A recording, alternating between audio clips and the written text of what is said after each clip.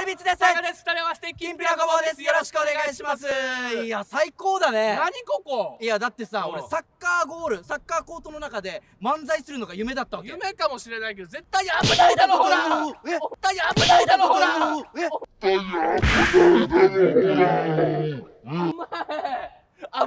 だろ気持ちいい。気持ちいいってどういうこと？俺今サッカーの一部になれた気がする。あマイク危なかったぜ今。マイクも危なかったけど俺の足にバウンドして当たったの見た。サッカーの一部ってよくわからないから。これがサッカーだわけ。怖いな。いやいいなどういうことよ？いやでもさ、うん。俺マジで女子のプロサッカーチーム作りたいなと思ってるまわけ、あそういうのはいいよね。なんかゲームとかでもあるじゃん。なんかレジェンドの選手を寄せ集めてこうはいはい。自分だけどドリームチーム作るみたいなさ、うん。あれいいと思うよそういうの俺あの親戚のおばちゃん全員集めてから作ろうかなと親思ってて、戚でチーム作ろうとしてる、うん。大丈夫かそれ？いやだってさ俺人見知りだから、うん。全員親戚の方がやりやすいなと思ってまあまあまあ確かにそれ理にかなってるからな、うん。いいと思うけど、えーまずね、うん。ひろみおばちゃん。ひろみおばちゃん、うん。あひろみおばちゃんはなんかサッカーやってたんだああやってない。スーパーの鮮魚コーナーで働大いてる。丈夫ね、うん。スーパーの鮮魚コーナーをどうサッカーに生かすの？ひろみおばちゃんさ、うん。全部であの10人いるんだけど。10人いる、うん。あなんか親戚でひろみおばちゃんって同じ名前の人がこう何名10名いるってこと？ああ違うあの10つ後。10つ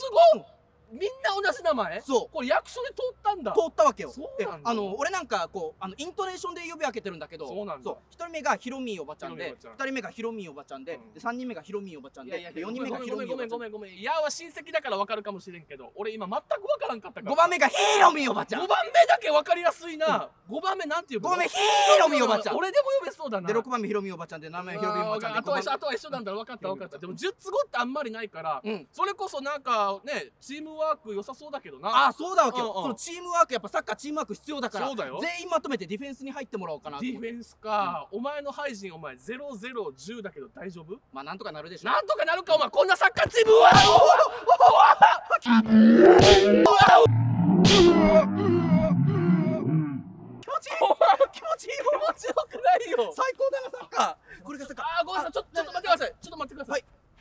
ちょちょっとちょっと来てもらっていいですかせっかくまあプロの選手いるんだから、うん。チームに入ってもらえないか。お願いしね確かにな。あのよければあの僕サッカーチーム作るんであのチームに入ってもらって僕にたくさんあのボールを当ててもらってもよろしいでしょうか？